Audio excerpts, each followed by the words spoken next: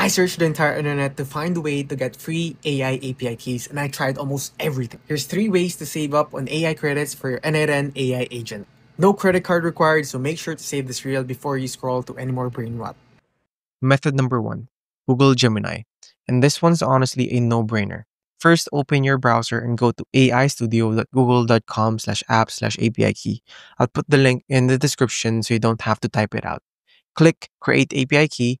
You might need to sign in with your Google account. Select Create API Key in a new project, and boom, there's your free API key. Copy this bad boy because we're about to use it. Now, here's the crazy part Google gives you 1,500 requests per day for free. That's like getting $45 worth of OpenAI credits every single day without paying a cent. Let's test this in n8n. Open your workflow, find your AI chat node, and instead of OpenAI, select Google Gemini. Paste your API key here, choose your model.